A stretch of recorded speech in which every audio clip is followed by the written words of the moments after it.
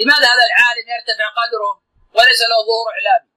وهذا لا يرتفع قدره ويرزز نفسه دائما في الفضائيات وفي الإذاعات وفي غير ذلك.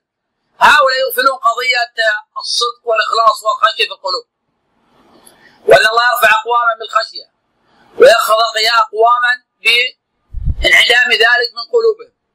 ومن ثم يقول ابن الجوزي في صيد الخاطر فصل إخواني اسمعوا. نصيحة من قد جرب وخبر. إنه على قدر جلال الله يجلكم. وعلى قدر تعظيم الله واحترامه يعظم قدركم وحرمتكم. وقد أدركت والله من أنفق عمره في العلم إلى أن كبر السن فتهاون في الحدود فكان لا يلتفتون إليه مع غزارة علمه وقوة مجاهدته.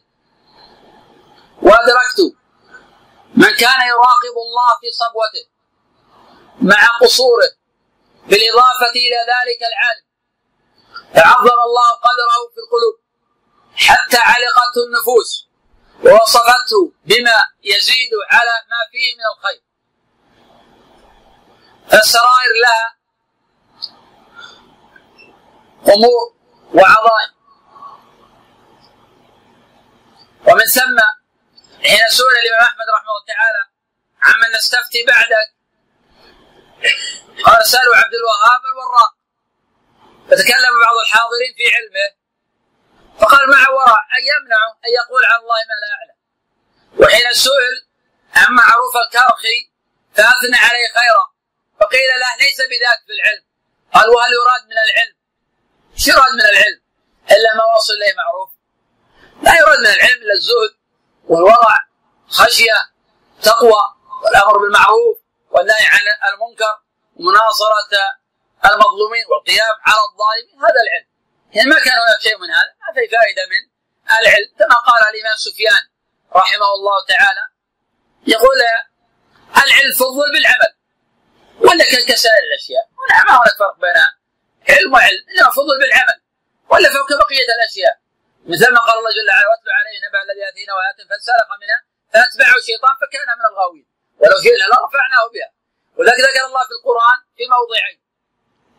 شبه الله العالم الذي لا يعمل بعلمه في القرآن في موضعين. وبأخبث حيوانين وللتشبيه دقة ومعنى. الموضوع الأول سورة الأعراف. شبه الله جل وعلا بالكلب. تحمل عليه يلهث أو تتركه يلهث. الموضوع الثالث سوره الجمعه كمثل الحمار يحمل اسفارا التشبيه الأول دقيق وواضح. لماذا شبه الله جل وعلا بالكلب؟ لأنه هو الذي لا ينتفع بشيء. ودائما قد أدلع لسانه.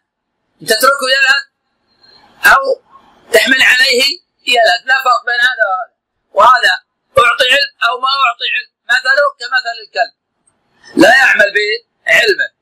والثالث كمثل الحمار. يحمل اسفار الاصل الحمار البلادة. الأصل الحمار البلادة وقلة الفهم. يشبه الله جل وعلا بالحمير لبلادته وقلة فهومهم لأن لو كانوا يفهمون ويعقلون لسارعوا إلى العمل بالعلم. لأن الله أعطاهم شيئا كان بإمكانهم. يفقون الناس. ويكونون أفضل الناس. ويكون سادة الناس. ولكن ما صاروا سادة الناس. صاروا حميرا للناس يركبونه من ثم كان ابن عمر إذا سئل عن فتوى قال تريدون أن تجعلوا ظهري جسرا لجهنم. تفتي بالكتاب والسنة. حتى لو أخطأت لا يضرك. لكن تفتي على الجمهور وعلى حسب مريات الجماهير وعلى حسب فتوى حسب الطلب. هنا لو أصبت أنت خائن للأمانة. الله جل وعلا يقول يا أيها الذين آمنوا لا تخونوا الله والرسول وتخونوا أماناتكم وأنتم تعلمون. أعظم الخيانة. الخيانة العلم خيانة الدين. الناس الآن حين يرون خيانة آه الخبازين خيانة الأطباء يكافحون هذا الآن في الصحف ويواجهونهم يتكلمون عنهم والناس في مجالسهم يلعنونهم ويسبونهم. ونعم هذا جيد هؤلاء خونه لكن فيما هو أعظم منهم جرما الخائن للدين هذا. ما نرى الناس يتكلمون عنه. اللي يلبس على الناس دينهم؟ والله يقول تلبسوا الحق بالباطل؟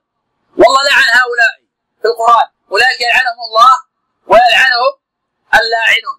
لأن هؤلاء كتموا ما أنزل الله إليهم من الكتاب ومن البينات.